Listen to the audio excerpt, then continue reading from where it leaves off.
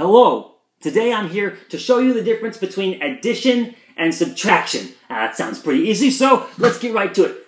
Addition. Let me show you about addition. Uh, addition is like you're putting things together. So when you add, you end up with more. So let me find a way to show you that. Um, addition, like, okay, take my sandwich, for example. Uh, if I wanted to do some addition with my sandwich, I would add something to it. So, you know, maybe we get some mustard here, and you add a little bit like that.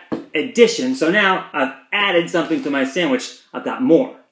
That's addition. So subtraction is like the opposite. When you subtract, you end up with less. So let me, how can I show you some subtraction? Um, I, I don't want to subtract my sandwich because I'm going to eat that later. So, uh, okay, take my beard. Pretty big beard. If I was to subtract my beard, take away some, you end up with less. So I...